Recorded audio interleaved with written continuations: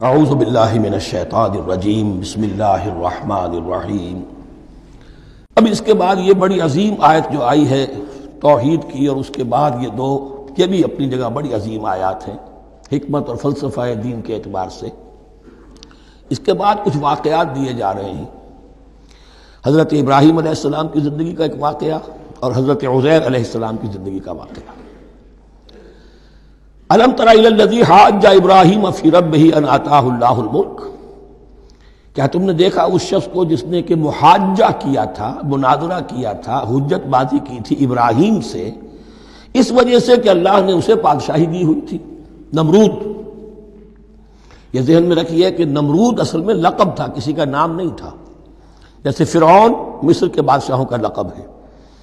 फ़राइना नमारदा जो है, ये इराक के बादशाह थे, बेबीलोनिया। तो हज़रत इब्राहिम की पैदाइश भी शहर उर में हुई थी कि जो बेबीलोनिया का एक शहर था, इराक का। और वहाँ बादशाह थी नमरूद की। जैसे फिरौन ने मिस्र में दावा किया था, अपनी बादशाही का और अपनी खुदाई का, और यह है सियासी बादशाही। ये नहीं कि हमने दुनिया पैदा की है मतलब यह कि इख्तियार मुतलक हमारे हाथ में है। हम जिस चीज़ को चाहे गलत करार दे दें, जिस चीज़ को चाहे सही करार दे दें। यही है असल में खुदाई इख्तियार हाथ में ले लिया। अल्लाह का हक है तहरीर व तहरीम। किसी शय को हलाल करना, किसी को हराम करार देना इख्तियार वाहिद अल्लाह के हाथ में है। जिस शख्स ने भी अपने जिम्मे ले लिया, कानून साजी का इख्तियार ले लिया, अल्लाह के कानून से आज़ाद होकर वही ताबूत है, वही शैतान है, वही नमरूद है, वही फिरौन है। तो उसने वो नमरूद ने कहा वहजा किया इस काला इब्राहिम रबी लजी यही व युमीत। मेरा रब तो वो है जो ज़िंदा करता है और मारता है। काला आना वही व उम्मीद उन्होंने कहा, मैं भी कर सकता हूँ। उसने जेल से दो कैदी मंगवाए। दोनों कंडेम्ड थे और एक की गर्दन वहीं उड़ाई और एक को कहा, जाओ, माफ़। देखो, मैंने जिसको चाहा ज़िंदा रखा और जिसको चाहा मार दिया। हज़रत इब्राहिम ने देखा कि यह कट हजती पर उतरा हुआ है। तो अल अजब बतुल मुस्क था जवाब ऐसा दिया जाना चाहिए कि जो इसको चुप कर दे। काला इब्राहिम फ़ैन अल्लाह याति बिशम से मिनल मशरक़ फ़ात बिहा मिनल मगरब। हज़रत इब्राहिम ने फरमाया, अल्लाह तो सूरज को निकालता है मशरक़ से, अगर तू खुदाई का मुद्दई है तो निकाल के दिखा इसे मगरब से। फ़बोह तल्लजी काफर। तो मबहूत होकर रह गया वो काफिर। अब उसके पास कोई जवाब नहीं था। वल्लादिल कौममीन और अल्लाह ालिमों को हिदायत नहीं दिया करता। हिदायत तो नहीं हुई, चुप हो गया। लेकिन चुप क्या हुआ? उसके बाद तो फैसला हुआ कि इन्हें आग में झोंक दिया जाए। औकल लजी बर्रा अला कर यतिन वही खावियतन अला उरूशहा। या फिर उस शख्स के वाक्य को जरा याद करो, क्या तुमने नहीं देखा कि जिसका गुजर हुआ एक बस्ती पर, और वो ओंधी पड़ी हुई थी अपनी छतों पर। अगरचे मुख्तलिफ़ तफासिर में मुख्तलिफ़ आपको शायद इसकी ताबीरात मिले। ये असल में हुआ है कि जब नमरूद, जिसका नाम था बुख्त नसर नेबू कैड नज़र, इसने पाँच सौ छियासी कबल मसीह में, हज़रत मसीह से पाँच सौ छियासी कबल, उसने हमला किया फिलिस्तीन पर। देखिए, इराक और फिलिस्तीन की, इसराइल की और इराक की इस वक्त भी सबसे बड़ी दुश्मनी है आपस में। वही दुश्मनी जो है ढाई हज़ार साल पुरानी भी है। उसने वो नमरूद बाबुल नबुक नज़र जिसका नाम था, उसने हमला किया।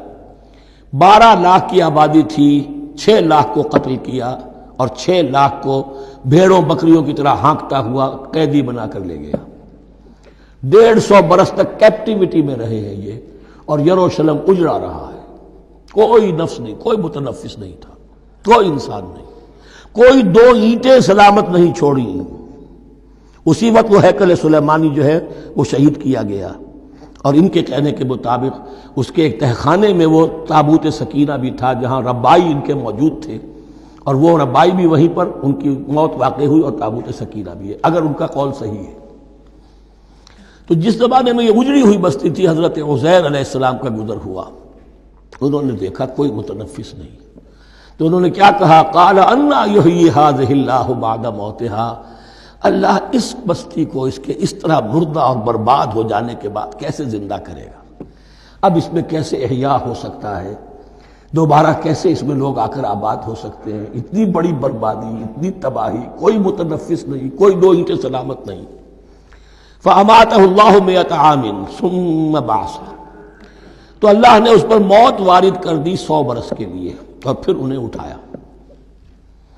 कहा रकम लबिस्ता। सवाल किया, कितने अरसे रहे हो यहाँ?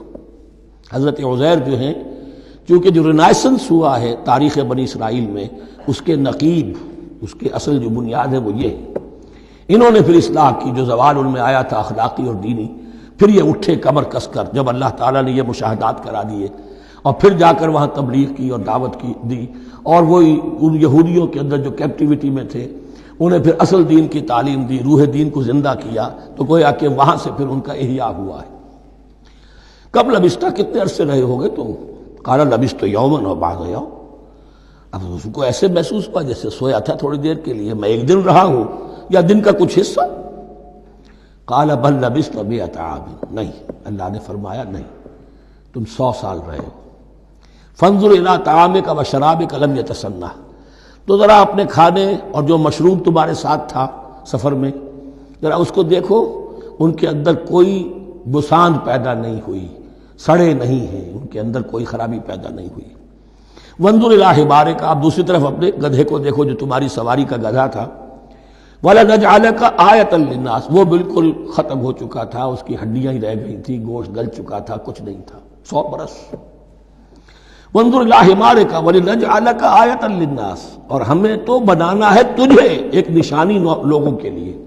यानी खुद, ए उजैर, तुम्हें एक निशानी बनाना है। और तुम्हें निशानी बनाने के लिए ये निशानी हम तुम्हें दिखा रहे हैं, ताकि यकीन जो है, यकीन कामिल तुम्हारे अंदर पैदा हो जाए।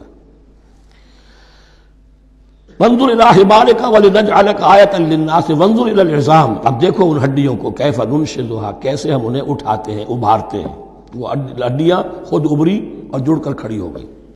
सुबह नक्सूहा लहमा, फिर देखो तुम्हारी निगाहों के सामने इसको गोश्त पहनाते हैं।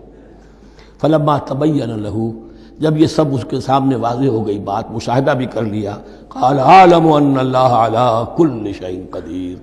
उनका मैंने पूरी तरह जान लिया, मुझे पूरा यकीन काबिल हासिल हासिल हो गया कि अल्लाह हर शय पर कादिर है। यानी वो इस उजड़ी हुई बस्ती को भी दोबारा आबाद कर सकता है। जो मैंने समझा था कि अब ये कैसे आबाद होगी, ये बात नहीं है। ये आबादी अल्लाह ताला के इख्तियार में। चुनाच उसके बाद हुआ।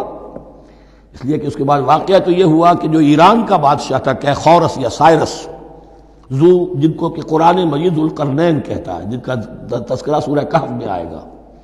फिर आपको मालूम है कि ये पैलेस्टाइन, इधर इराक इराक के बाद ईरान दुश्मनियाँ तो थी क्या खौरस ने हमला किया बाबल पर, इराक पर, और दुश्मन का दुश्मन दोस्त होता है। तो यहूदियों को इजाज़त दे दी कैप्टिविटी से दे दी, जाओ तुम वापस जाओ, अपना शहर दोबारा बनाओ। चुनाचे वो गए, और फिर उन्होंने जाकर वहाँ पर 136 सालों में उनकी दोबारा जो है ये बस्ती बसी, और फिर यरूशलेम को उन्होंने आबाद किया, और फिर उन्होंने वहाँ हैकल सुलेमानी दोबारा बनाया, जिसको वो सेकंड टेंपल कहते हैं। वो सन सत्तर ईस्वी में टाइटस रोमन जनरल के हाथों तबाह हुआ था, जो अब तक तबाह हुआ पड़ा है। 1927 बरस से उनका काबा जमी बोस है। ये नोट कर लीजिए इस बात को। इसीलिए आग लगी हुई आज दुनिया भर के यहूदियों के दिलों में। अब तो हमारी हुकूमत है वहाँ पर। हम अपना, ये जो भी कुछ यहाँ पर इस सियाहते में बना दिया गया इस सबको खत्म करेंगे और अपना वहकल सुलेमानी बनाएँगे। उसके ब्लू प्रिंट्स बन चुके हैं, नक्शे बन चुके हैं, हर चीज़ तैयार है। बस किसी दिन कोई एक धमाका होगा, कोई बम जो है कहीं पर प्लांट किया जाएगा, खबर आ जाएगी कि किसी किसी फेनेटिक ने कहीं वहाँ पर जाकर रख दिया, जैसे एक फेनेटिक गया था मस्जिद अल खलील में और सत्तर मुसलमानों को शहीद करके खुद भी उसने खुदकुशी कर ली थी। और डॉक्टर था, अमेरिकन डॉक्टर गोल्ड स्टीन इसी तरीके का कोई फैनेटिक जाएगा और वो उसको गिरा देगा। फिर कहेंगे, जब ये गिर ही गया है, जैसे मस्जिद अयोध्या का मामला है, अब गिर गई है तो भाई हमें राम मंदिर बनाने दो, काहे को तुम? अब ये मस्जिद काहे को बनाते हो? वो होगा। और ये मैं समझता हूँ कि चंद हफ्तों की, ये चंद महीनों की बात है। ये होने वाला है फ़ौरन। सदक अल्लाह